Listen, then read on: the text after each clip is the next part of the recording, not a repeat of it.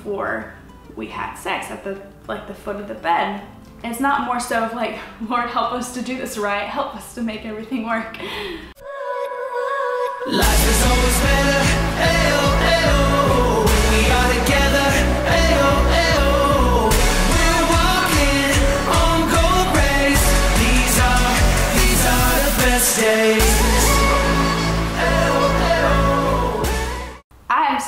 Excited to talk about this topic today and we're not gonna make it weird. We're gonna go into all the topics, how it went, what I expected, what I didn't expect, and hopefully it can help some of you guys.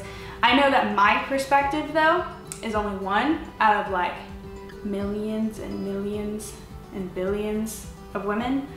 Um, so just try to keep that in mind. I also come from a Christian perspective. That's one of the reasons I decided to wait for my husband and it's not one of those things that I felt like restricted, like where I had to do this sort of thing. I really wanted to wait for my husband for so many reasons and I was so glad that I did. So to answer that question, I'm really glad that I waited.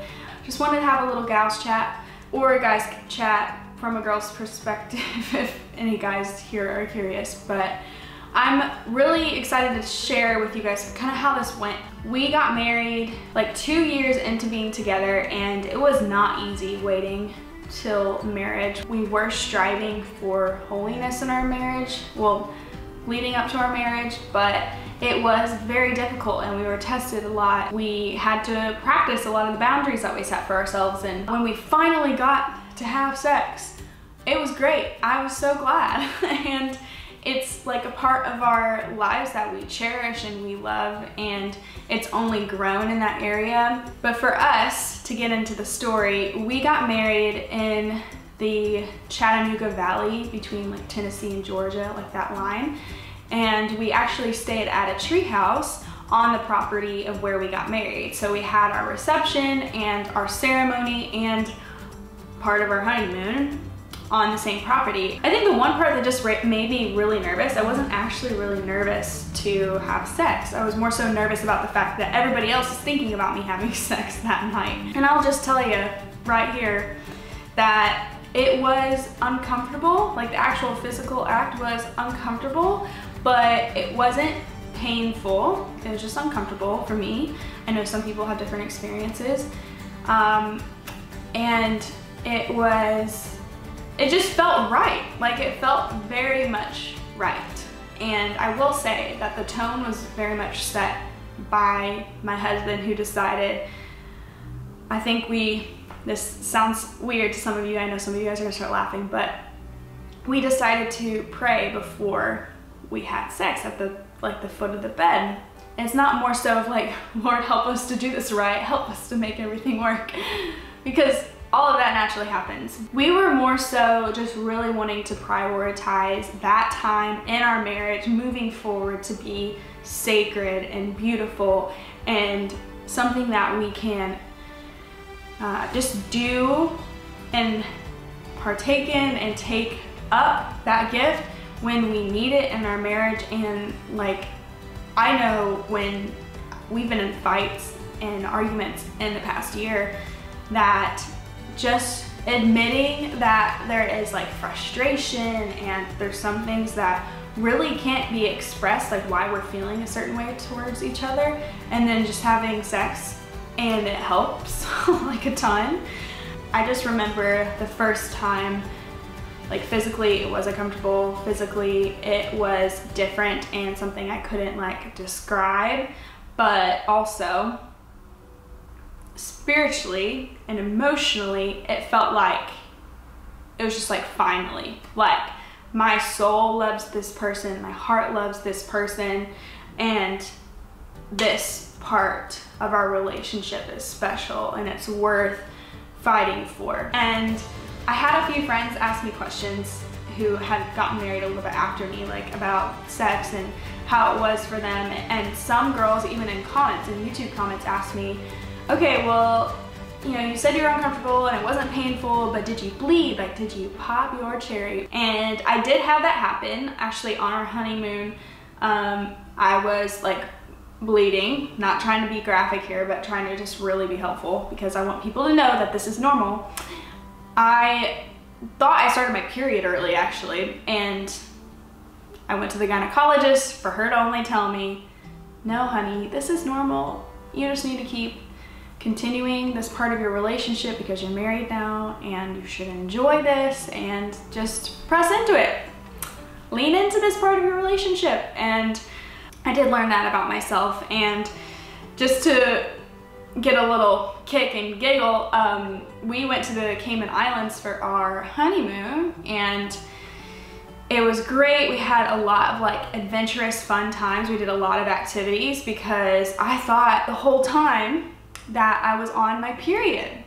So things happen, like life happens, and if you are with the person that you're supposed to be with in a committed relationship for life, then this shouldn't really matter that much. A lot of people put the emphasis on the act of sex and the physical part, but sex is so much bigger than that. I think what the enemy has done in our world has made it seem like it's not that big of a deal and do whatever you want. And I honestly am not going to give advice to people who have that sort of mindset because it's not really my place. I'm not going to sit here and tell you what to do. Those who understand where I'm coming from, the world has really made sex and the sexual world of things very exploited, very like an object. Like this is this whole fantasy and beautiful thing and we're gonna make it the theme and the basis of all of our Netflix shows. We're gonna make it the theme and the basis of all of our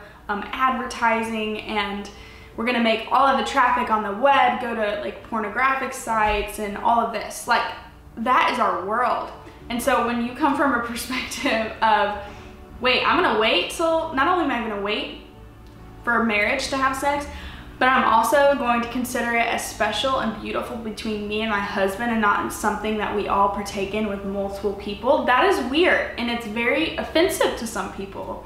And so having that like realization and knowing that sometimes you really have to guard your heart and mind even within marriage is so important. So even beyond the first time of Nick and I being, being intimate with one another in that way, there was also just the times after that and how it changed and evolved. One, you don't always feel uncomfortable. That's not always the case. I would say, like, even today, like, after I haven't had sex with Nick in a while, uh, because I've been on my period or we've been traveling away from each other or whatever, it still can be uncomfortable. Like, it's totally normal though, and you shouldn't like just expect it to be, okay, the first time is uncomfortable and maybe painful, and then after all of that, we're good to go.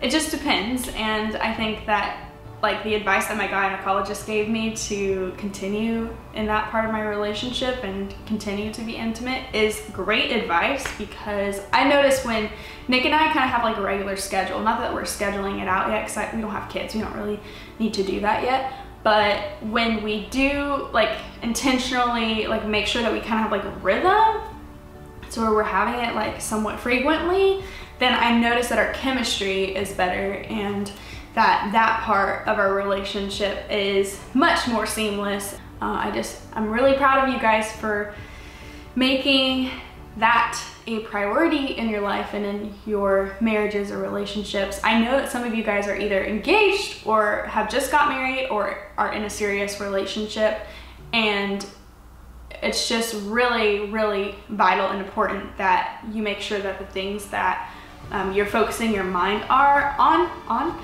aren't necessarily always like physical because life isn't all roses and sex, honestly.